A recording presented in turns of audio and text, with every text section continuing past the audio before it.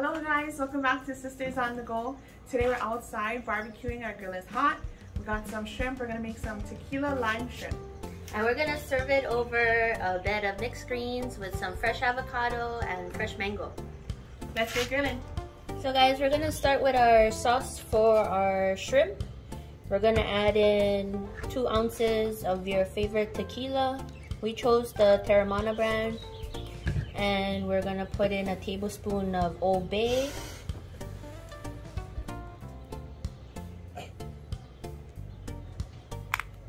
The humidity.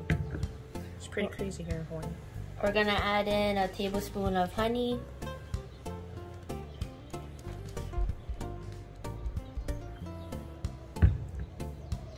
A tablespoon of lime juice.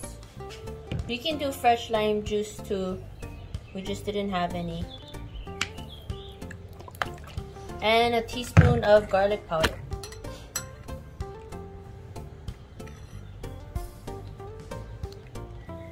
And mix it.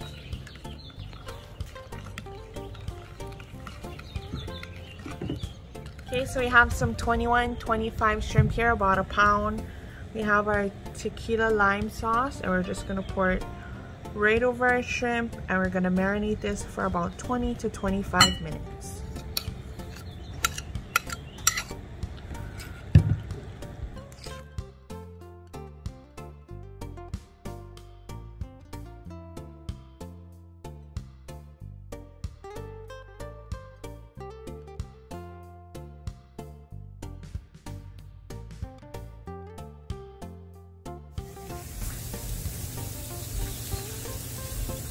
So once the shrimp starts getting a little pink, we're gonna turn it about one two minutes per side. We don't want to overcook it. Look at that color, no.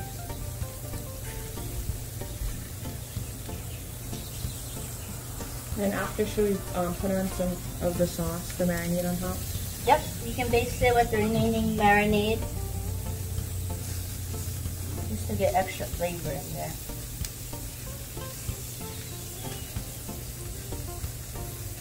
Make sure none of these suckers fall through.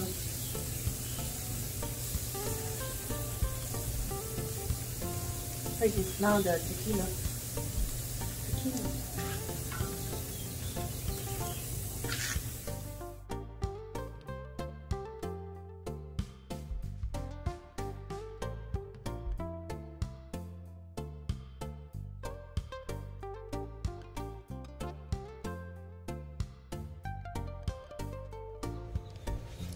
So to our bed of lettuce, we add some fresh cut up mango, fresh avocado, and now we're gonna add our grilled tequila lime shrimp.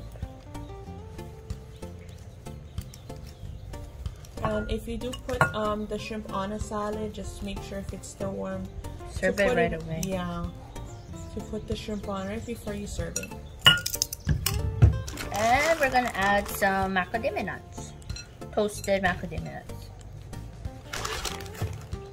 And then you can pair this salad with any dressing of your choice. You could do a vinaigrette. The one we chose is a poppy seed dressing. Yep.